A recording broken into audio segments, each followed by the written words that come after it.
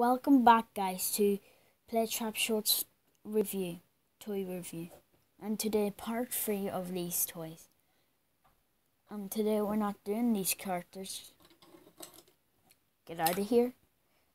And we're talking about the weapons for once in my my so if you're wondering why I'm doing a a toy review, I just like it. It doesn't matter what age you are, but probably if you're too old, you can't do it. But yeah, so we're talking about all these weapons. I'm gonna put them in order. So the meal weapons, the shoot weapons. So we're gonna talk about the meal weapons first. If you saw it in my first video, you can't put this on the person. Like you can't click it on for some reason. I think you have to put it sideways. Let me check for a wee minute. Nope, that didn't work. So, it looks like I can't use this for any characters. I have to hold it for the character's hand instead. And this one, this is easy. They could have made a circle here, so then you can connect like this. If I don't know who made this, but I think it was a 3D printer or I don't know. I think it was a 3D printer because it's just fully black just with oh, a wee tint.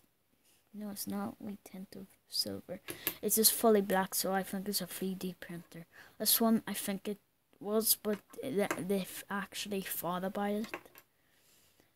And yeah, this one is actually cool. I like, like hear.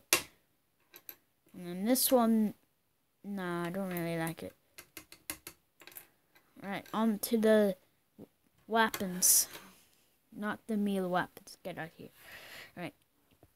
The weapons.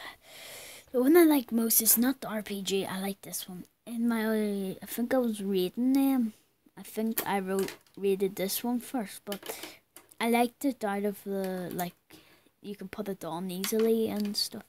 And the AR, I really like the look of it and like the type of gun if it was a different type of gun, I would have just rated it like below five. But this is actually good. So, yeah, you could see the detail. I, I knew. I think this was a three D printer, but they printed this wee black thing on. Or they photo like Photoshop like print. 3D print, and then I think they 3D print and then for like photo what we call it, like we these wee things you can put on for the person. Right. So you can see. So I'm gonna put the weapons in order how to use it. So I'll be right back, guys. I just put the her back just so you can see the the AR on the axis for the boy. The axe doesn't really work for him, and then the RPG and the the hammers for her. Um, yeah. Right, let's talk about the boxes. So, this one is for the boy, he's the good person. This one is the bad person for her. And collect them all. This is what I'm trying to do to make a big movie of them. So let's check the back of the box. Alright, I can see the characters you have to collect. So you have to collect Iron Warrior. He looks cool. Let's see the with the powerful to fly and the night vision. This here fires plasma with enchanted accuracy. This is bolt like Flash. I don't need to read that. Mystery I already have. Uh, portal creates portals to move through time and space fighting evil. Okay, this is him right here, Portal.